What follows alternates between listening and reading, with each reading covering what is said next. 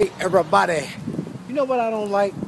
You know, like America, like New York just had this uh, hurricane, Hurricane Sandy. Last one last year wasn't as bad as this one, but this one was pretty bad. But I mean, like, there's some places that are still intact that you would never know.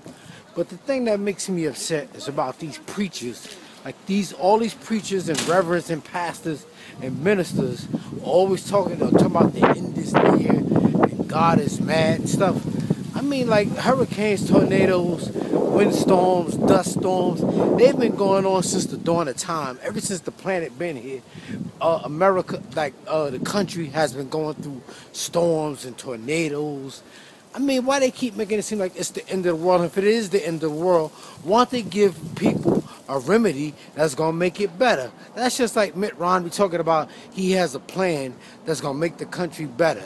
If he was really concerned about the masses of the people, he would tell people what his plan is now and put it into effect and tell the acting president what to do that would make the country better and make the world a better place. But people only, you know, like, it's just, I just hate when these pastors and reverends and ministers, the imams, them two always talk this shit about the world is coming to an end and we need to get our act right and shit, man. From the time I was born, I started dying.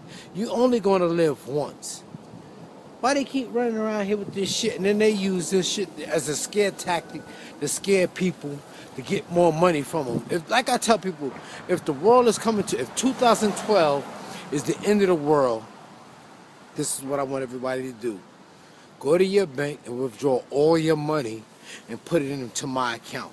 That's what you can do. If the end of the world is coming soon, I want you to do that because if it's if it's a new world coming and a new day, you're not gonna need the money in the new day anyway. You're not gonna need the money for, for the new world order and all that other shit.